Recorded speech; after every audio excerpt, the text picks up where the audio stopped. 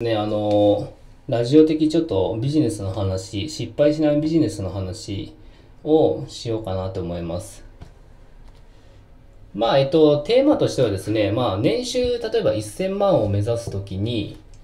まあ、1000万でいいかなと最初思ったんですけど、まあ、お金に困る企業、要は、その、やっぱり最終的にお金を稼ぎたいから、やっぱり起業とか副業とかビジネスするわけで、で、その時にやっぱり2パターンあるかなと思って、大まかに。まあ、お金に困る企業とお金に困らない企業っていうのが2パターンあって、で、僕の中では、本当に僕はお金に困らない企業ばっかりしてたんですけど、あの、周りをですね、結構知り合いの社長とか、昔一緒のバイトしてたりとか、一緒の会社にいた人たちとかが、自分で結構起業したりとかする人、結構多いんですけど、本当にびっくりすることにお金に困る企業ばっかりしてるんですよ、ほとんどの人が。で、蓋開けてみたら、普通にあの銀行から借り入れ何千万もあって、で、今普通に何年間赤字垂れ流してるみたいな話とか電話でしてたんですよ。で、そうして電話してて、本当になんかお金に困ってて、なんでそんなことするんだろうなと思ったので、あの、ちょっと動画に撮ろうかなと思ったんですよ。で、やっぱり今、副業をやりたいとか、例えば将来的に夢があるとかっていう人はいると思うんですよ。なんかショップ作りたいとか、なんかカフェ開業したいとかってあると思うんですけど、でもその中に、どのような感じで、あの起業すればいいのかなっていうのを先に知っといた方が多分いいと思うんですよね。だから多分僕自体も先に10年前とかにやっぱり知りたかったことを今こう喋っていこうかなと思うんですけど、で、やっぱりですね、そのお金を稼ぐために目指すときにですね、お金に困る企業っていうのはどういうことかというと、やっぱ基本的には1対1のビジネスかなって思うんですよね。例えば、まあ接客とか、でも接客だったらオーナーとかだったら、その従業員の方を雇って、その働いてもらえればいいので、あの、そういうビジネスオーナー的な方だったら全然問題ないんですけど、まあ基本的になんか1対1のビジネス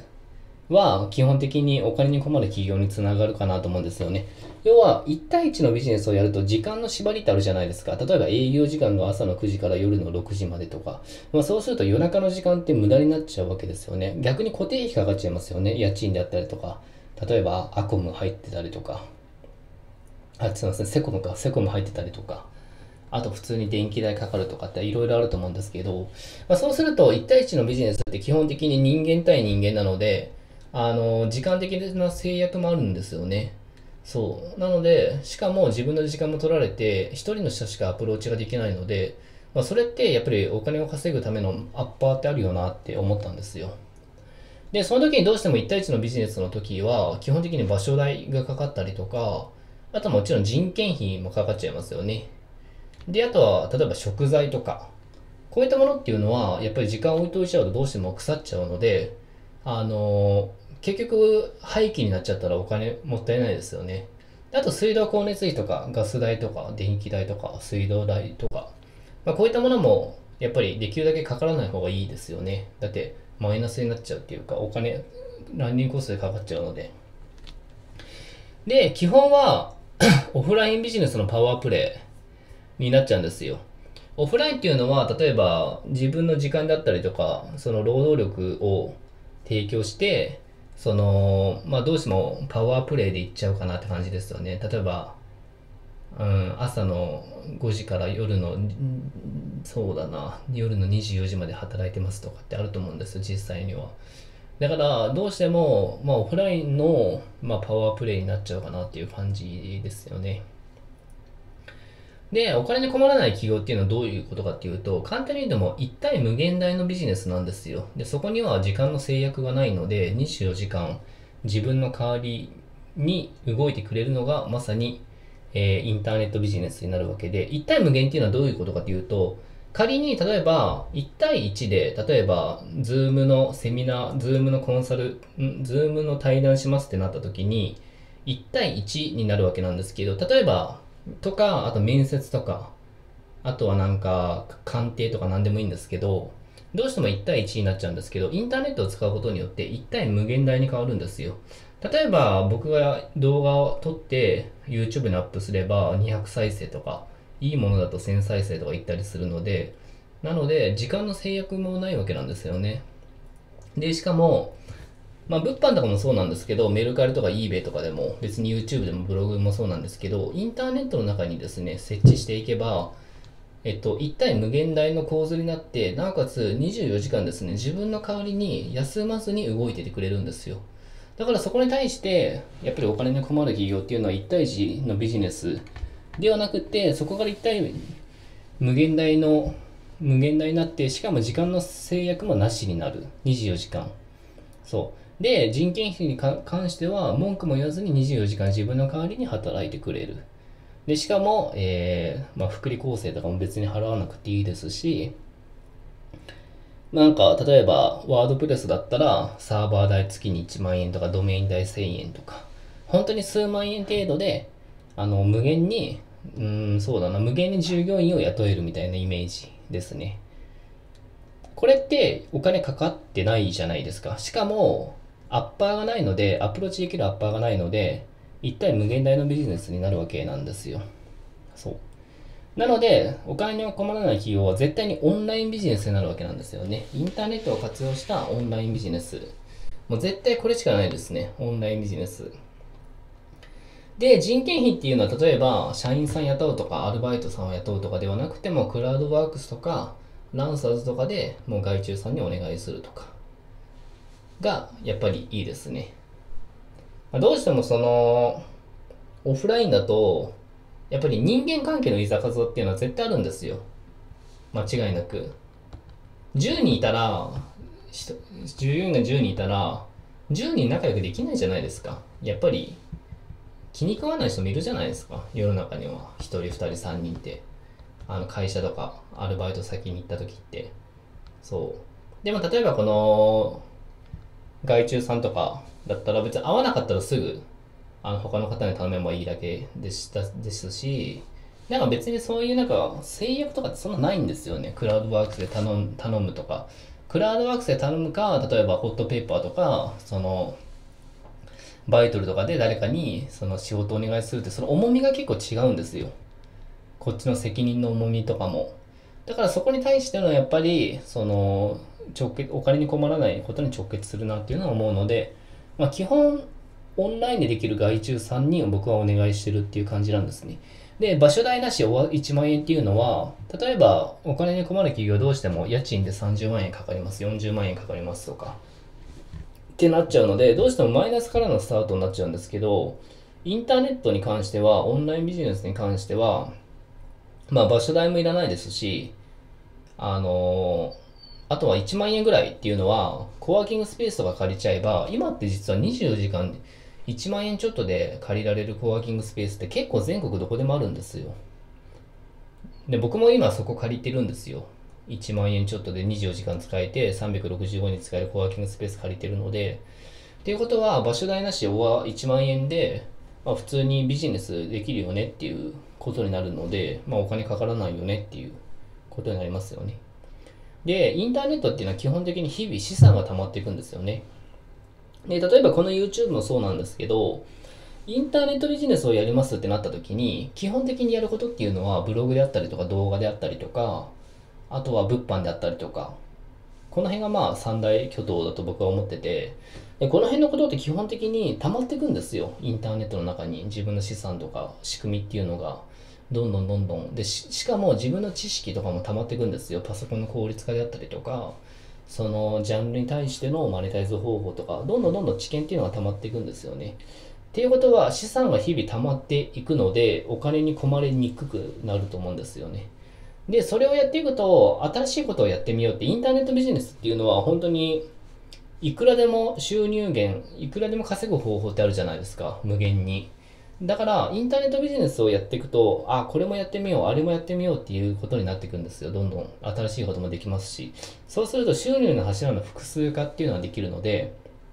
例えば、お金に困るビジネスで1対1のビジネスだけが本業ですってなると、どうしてもそれがうまいこといかなかったら、その、困っちゃうじゃないですか、お金に。でもインターネットビジネスの場合は、基本的にインターネットビジネスをやってれば、あれもやろう、これもやろうってなって、収入の柱っていうのがどんどん2本、3本、4本、5本って、どんどん柱が増えていくんですよ。例えば、なんか家建つ時も柱が多い方が絶対崩れにくいじゃないですか。みたいな感じで、そうすると、やっぱりお金に困らない企業ってどっちかというとこっちだなと思って、で、絶対にやっぱりオンラインビジネスなんですよ。で、最初に言ったように、何かあのオフラインでビジネスをしたいとか、例えば将来夢があるとか、なんかか、えっと、ショップ開きたいとかいろいろあると思うんですけど、それはすごいいいと思うんですけど、僕が定義するのは、まずオフラインでお金を稼いだお金を使って、あの、ショップとかを、えー、開業するんだったら全然あれだと思うんですよ。インターネットビジネスをやれば、例えば自分のショップのサイトも作れますし、SNS の発信だってできますよね。で動画でアプローチできたりとかしますし。で、しかもオフラインビジネスをやりながらオンラインビジネスのお金も入ってくるとか。で、オフライン、オンラインビジネスのなんか、なんか、勉強会みたいなところをオフラインの場所で提供してあげるとかっていうことができるので、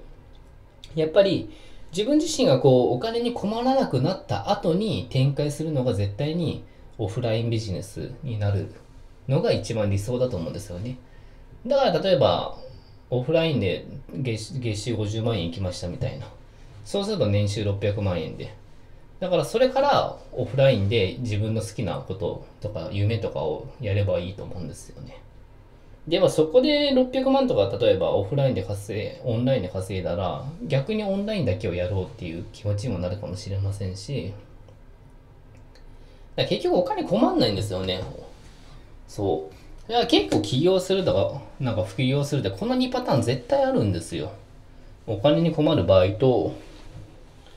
あの、お金に困らない企業。で僕はもう、ま、100%こっちしかやってないんですよ、今。で、なんでこの動画を撮ろうかって思った時に、まあ、多分聞いてないと思う、まあ、まあ、100%聞いてないと思うんですけど、僕、昨日先輩が起業してる人がいて、あの、まあ、テレアポやってて、で、かで社員、社員じゃない、あれ、全部でバイトさんとか広げて30人ぐらいいるって言ってたんですよね。その、会社に。で、中身聞いたら、その今期はもう丸々赤字って言ってて、で、しかも銀行から何千万も借り入れもしてるって言ってて、で、話を聞いていく限り、それ絶対返せないだろうなっていう感じだったんですよ。でもなんでそれを僕からすると、なんでそんなことをやるんだろうなっていうこと自体に、あの、疑問でしかないんですよね。だって30人分の人件費かかるわけで、30人分の場所代かかるわけで、30人分の水道光熱費かかるわけじゃないですか。だからそれに対して30人分の人間関係のもつれも出るわけなんですよ、そこに対して。で、そこに対してのストレスであったりとか、あとは、なんか人間関係のマネジメントであったりとか、まあ、あとはどうしても、まあ、ランニングコストとか、あとプレッシャーもすごいですよね。日々だって、30人もいたら1日、下手したら50万円ぐらい経費飛んでいくようなイメージじゃないですか。家賃とか、水道光熱費とか人件費とか考えたら50万とか。ってこと考えたら月間600万とか、やっぱり飛ぶわけで、で、月間600万飛んだら年間7000万ぐらい経費かかりますよと。じゃあ月賞、あ、年商か。年商、例えば、ね、7000万だったら7000万稼がなきゃいけないんですよ。ってことは、月賞で1000万以上稼がないといけないっていうプレッシャーなるなりますよね。じゃなくて、最初になんか自分自身がインターネット使って1000万ぐらい年収だった方が絶対いいと思うんですよね。いやなんでそんなことやるかなと思って、だから僕、結構、昔営業やってた時に、僕自身も10年、まあ10年前まではいかないんですけど、営業やってた時に、結構みんな独立して、何人かの ?1、2、3、まあ多分5人ぐらい自分で会社建てたんですよ。その同僚っていうか当時の人たちが。で、5人、まあ僕も一応会社建てたんですけど、僕以外全員同じことやってるんですよ。全員テレアポの会社作って、あの、営業をやってるんですよ。それって、ある意味、テレアパなんて20年前、30年前からある営業で、今も進化せずに、未だにそれをやってるって、僕から言わせるとはっきり言ってナンセンスでしかないと思ってて、で、みんなお金に困ってるんですよ、話聞まあ、ほ多分みんな困ってて、話聞くと。で、そうしたらやっぱりコロナでどうのこうのとか、なんか、なんだろうな、水道光熱費が高くなったとか、インフラが高くなったりとか、いい、いい人、いい人材がいないとかってなるわけじゃないですか。で、結局、結構赤字とかなってる感じだったんで、なんでそこに行くかなって感じなんですよ。なんで茨の道に自分から行くのかなっていうのは、ぜ本当に思うんですよね。だから、そう思いますね。でも、こう、自分で事業するってすごいと思うんですけど、オフラインで働いてる人でも、オンラインの副業やってる人もやっぱり中にはいらいて、僕の教えてる方とかもやっぱりそういった方もいて、本当にそういった方って、なんか、変化に対応して、なんかしっかりして、すごいなって思いますね。うん。だって僕の知り合いなんて一人もインターネットビジネス多分やってないので、全部人海戦術でパワープレイで、あのー、人を雇って稼ぐみたいな感じなんですけど、やっぱ中にはインターネットビジネスして、まあインターネットの力によって24時間お金が入ってくる、その一つの収入源を作ってやろうっていう人もやっぱいるわけで、それってやっぱり時代にすごいマッチしてるし、すごいなんか、変化に対応してますよね。まさに時代の。うん。だからすごいと思うんですよね、そういうのって。逆に言うと本業やりながら、その長い目で見て5年10年でも、まあそれでトータル副業で稼げるようになった。副業っていうか、まあオンラインビジネスで、インターネットビジネスで稼げるようになったとか。で、そのインターネットビジネスをやることによって自分でなんかホームページであったりとか、ライティングができるようになったとか、広告の知識がついたとか、なんか、なんか自分でメディアを持つことに興味を持ったとかって、そういう副産物もあるわけじゃないですか。インターネットビジネスって逆に言うと無限なんで、できること無限じゃないですか。だからなんか YouTube で、例えば、YouTube で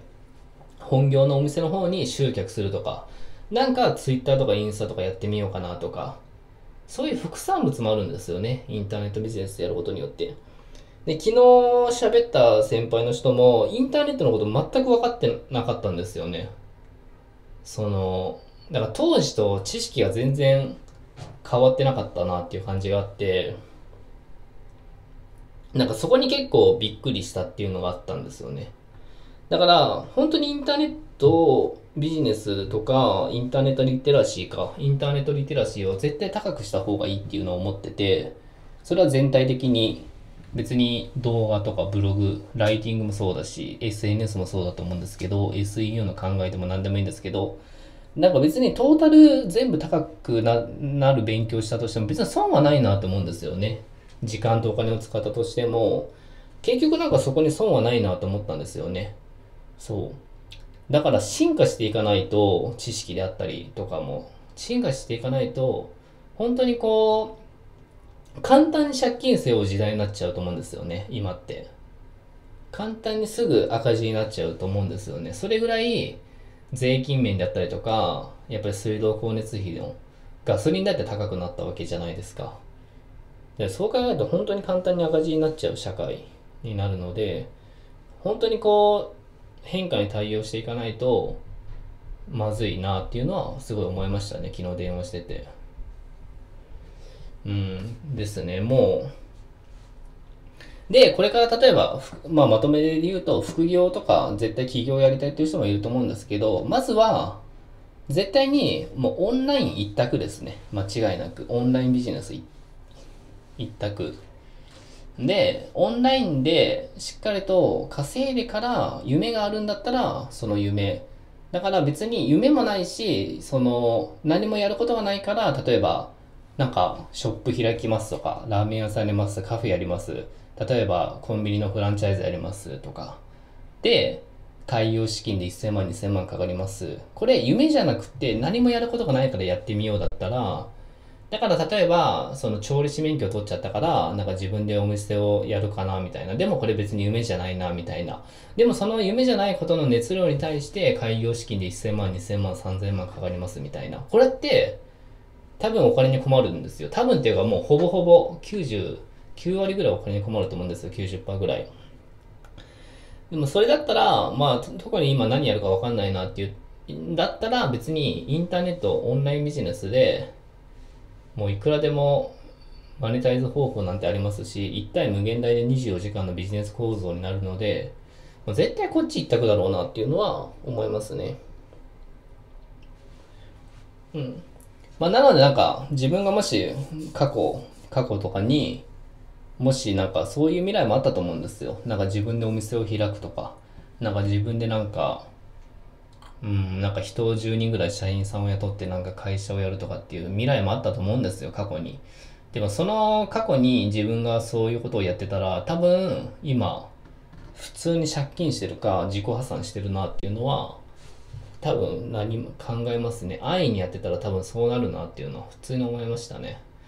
だから今やってることに対しては、その正解だったなっていうのはありますし、でも、今やってること自体がもう本当にまだまだ、うん、まだまだ、まだまだ伸びしろもあると思いますし、もっと頑張っていこうとか、もっと勉強していこう、もっと変化に対応していこうっていうのは、こう、いつも思いますね。そう。できる限り、こう、やっぱり、やっぱりリスクっていうのが結構リスクって捉えた方がいいですよ、ちゃんと。うん。昨日話してて思いましたけど。うん、なんかかっこよさとかじゃないっすよね。その、なんか、オフィス構えてますとか、なんか、3、40人、その、社員さんとかバイトさんがいますとか。うん、なんかもうそこじゃないなって感じですね、今の時代って。今の時代って、どれだけ人間関係とかってもうすぐ崩れる時代なので、もう信頼とかってない時代だと思うんですよ、今って。だから今ってどれだけ個人、個のプレイで、あの、自由にできるかっていう方が、なんか生きやすい